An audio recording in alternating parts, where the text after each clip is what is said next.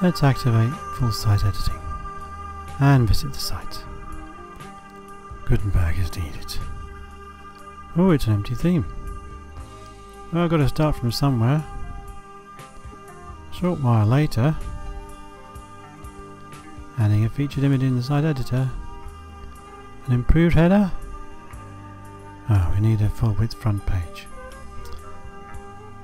Adding some query blocks with post excerpts, changing global styles, reset to defaults. Ugh. Styles from theme JSON file. Oops, broken theme JSON file.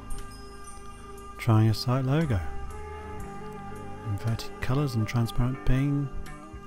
Toggle the search label. Reset the body margin to zero. Lose vertical white spaces too. Working on the footer template part. Main body created. Featured image above content. Doing the themes page. Reposition the post title. Moving on to paragraph. Getting started. Gutenberg plugin page. Now we've got a blue current menu item. You can browse different templates. Use the template editor. And you can add a template. And it'll be pre-populated. Here we're going to add new previous and next blocks.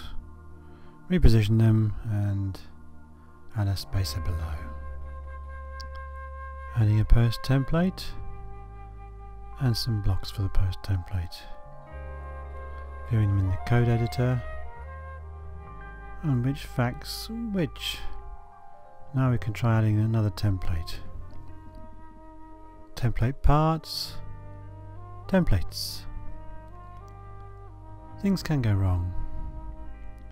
Uh, no one saw that, did they? I can top toolbar again, then build the attachment template, positioning the header over the top. Then the archive template, and put an archive title block in. Finally the front page template. Do some styling with global styles, make final adjustments, and it's coming along.